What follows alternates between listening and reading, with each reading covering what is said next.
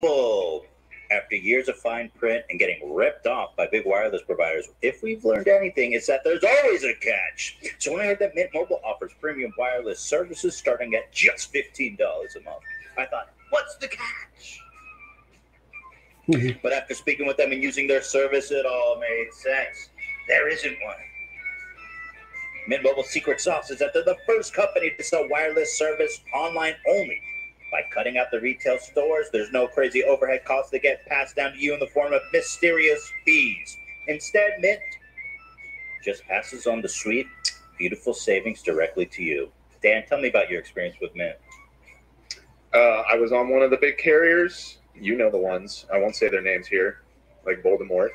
But uh, I was paying nearly $100 a month. I was able to get a comparable plan from Mint for a fraction of the cost. And uh, the service is just as good. So Right. it's a win win win. Okay, in this video, I just want to make uh, some clarification. Uh, as you can, as you just see uh, saw it, I wanted to make sure it's not about to uh, to attack uh, Mint Mobile or or uh, you know. I just want to make clarification so that people understand a little bit uh, uh, because when when uh, the Ethan is, you know, they are they are promoting Mint Mobile, and uh, and he says Mint Mobile is as good as uh, all the other carriers. So you so you have to understand what is Mint Mobile because you have to understand that Mint Mint Mobile is a smaller company, and uh, I'm going to explain to you a little bit. So there's Mint Mobile is, is something called MVNO. Okay, so a mobile virtual network operator is a wireless communication service uh, provider, but it's a wireless communication service provider that does not own wireless network infrastructure over which it provides services to its customers. So, so in this case, Mint doesn't have the infrastructure. Okay, so they have to rely on a bigger company. Okay, so the the the main biggest companies in, in the U.S. are uh, there are only few of them, maybe maybe less less than four. Four. The biggest one is wireless, uh, Verizon Wireless, AT and T, uh, T-Mobile. Okay, so these companies they own the infrastructure, they, they own the network. So anybody else is just using their network. So in the case of Mint Mobile, Mint Mobile is using T-Mobile's network. Okay, and uh, they don't have the infrastructure. They don't have the uh, the towers to you know to make sure there is a communication. So there is not. It's not a telecommunication company. So you have to understand that. So they are kind of uh, they taking from wholesale from the biggest company and uh, sell it at retail.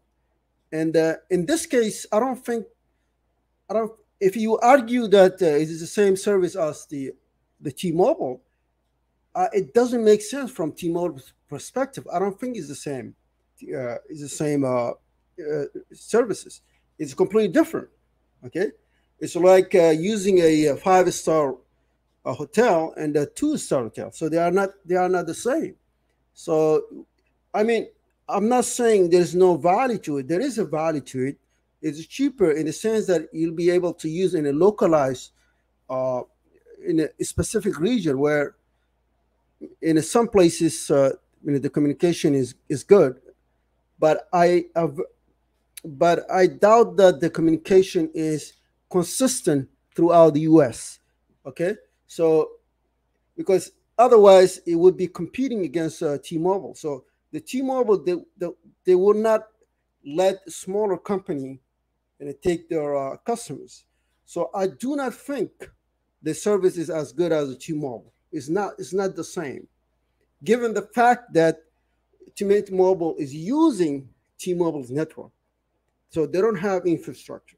I think this this can apply in in in in, a, in other in other uh, in other domains where you don't have the, the I mean, if you take a specific uh, company, you don't actually make the products, but you take it from somewhere else, from wholesale, and you sell it. So it is kind of a different, uh, different dynamic. So, so I just want to make cl- clarify that yes, although Mint Mobile is very cheap, but as far as as far as the quality of the service, the the consistency of the uh, communication, I do not think they uh, they equal T-Mobile. Uh, for the simple reason they they rely on T-Mobile network for for for for their operation. So this is something that I would like to put out so that people can understand. Thank you.